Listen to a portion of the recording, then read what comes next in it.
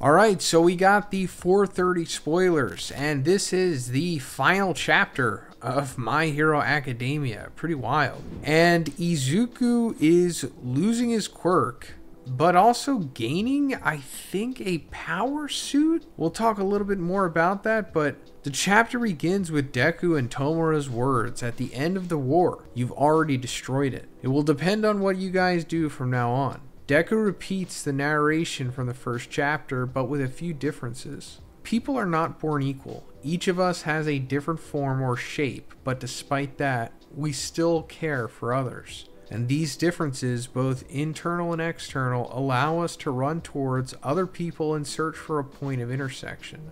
Kota enters the teacher's room. Big bro Midor Deku sensei, where should we gather for the afternoon class? We then see that Deku is wearing a suit and writing in his notebook. This is the truth about society that I learned when I was 17. So, yeah, uh, this is pretty interesting. I think this is like a time skip. It could be eight years possibly into the future. Not really sure. We'll talk a little bit more about that later. But Izuku apparently becomes a teacher at UA.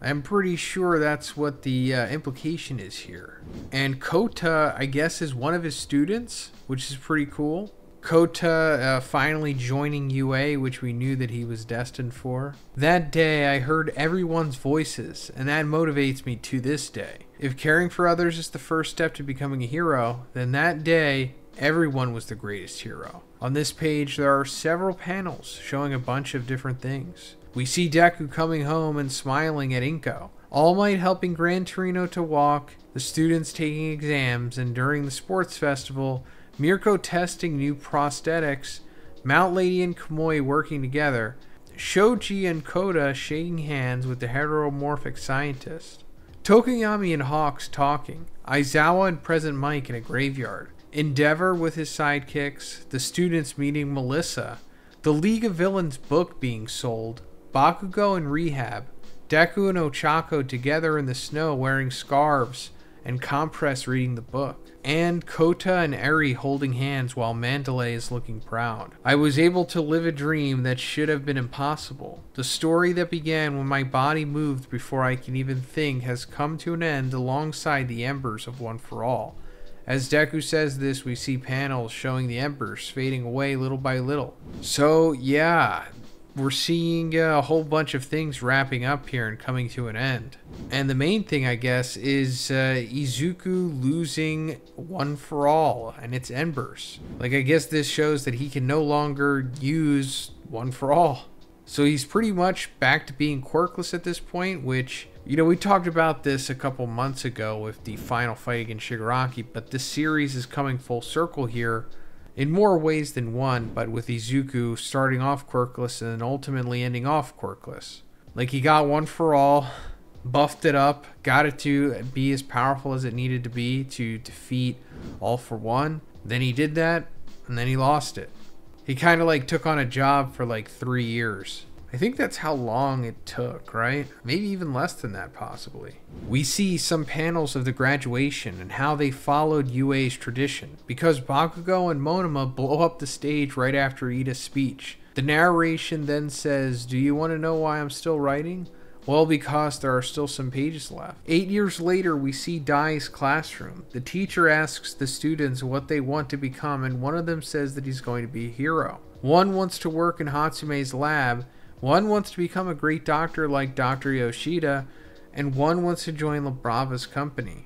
So Dai is this new student that we're going to see a little bit in this chapter. Apparently, we already saw him in the series before. He was like this random kid holding an Endeavor like plushie looking up at the All Might statue. One of the students sees that Dai wants to become a hero and says that he'll never make it with his quirk. He also says that there are fewer villains now and that the number of heroes has stabilized, so only the strongest kids have a chance. So that's pretty cool actually, now that there are fewer villains due to like what happened with the war and the fallout of that and everything. There's not really a need for an excess of heroes like there was before. So now if you're going to become a hero, you have to be like elite. I guess it's almost like becoming a Navy SEAL in this world at this point, or, or close to that. Like you're not really gonna get monomas anymore. After school, Dai says that people have changed. When he was a kid, everyone wanted to be like All Might Endeavor, Jeanist, Deku, or Dynamite. He feels that he's the only one still acting like a child and feels insecure about it, which is why he goes to the All Might statue. Cut to Shoji receiving the Imamura Award for his efforts resolving prejudice based incidents in a peaceful way. He dedicates the award to all the heteromorphs who marched to the hospital eight years ago and says that he's only here today thanks to their will. Next, we see that the Ingenium, Froppy, Creati, and Uravity team is visiting schools all over the country and that the Quirk Counseling expansion project created by Uraraka is considered one of the most essential aspects of today's society. Oh, so that's cool. Uraraka winds up making a Quirk Counseling project. And this, of course, inspired her because of what she found out about Toga and how her upbringing led her to becoming who she was. And only if she had quirk counseling, she could have led a better path. So she's kind of doing this in wake of that. We see a panel of Eri with her friends from the music club. And Aizawa shows Deku a video of Bakugo screaming at a civilian for filming him too closely. Aizawa says that this will make him fall down the rankings and Todoroki will shoot ahead. Shoto patrols day and night and treats his fans very well. Recently, hardly anyone calls him Endeavor's son anymore. Deku says he'll pass Mount Lady, Kamui, and maybe even Mirio in the rankings. Also, Monoma and Honenuki spots are great too. Aizawa asks if Deku doesn't feel lonely, and he replies that during Fuwa's talk with Aizawa in chapter 425, he realized that he could use his knowledge and experiences to help other people, even without a quirk. He says that he thinks that's a cool way to live.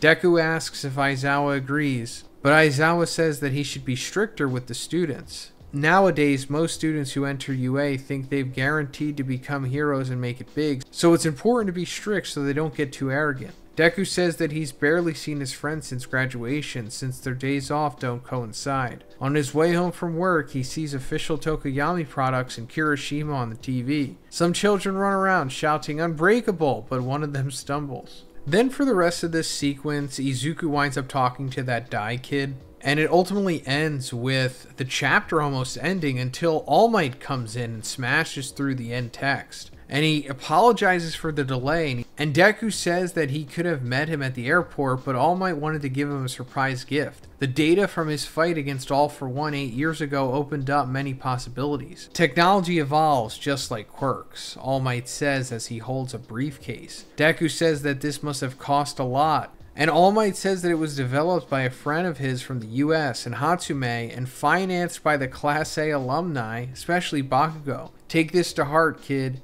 You've earned this power too, fair and square. So, this is really fascinating, and apparently, this is like a suit for Izuku to wear because in the final panel, we're going to see all of the students from Class 1A as they're adults, I suppose, and I think Izuku is wearing a suit. And I'll go more into this in my review tomorrow. But the suit is probably going to be like All Might's uh, Iron All Might suit, or whatever it was called. But I think it's going to have a longer shelf life than that.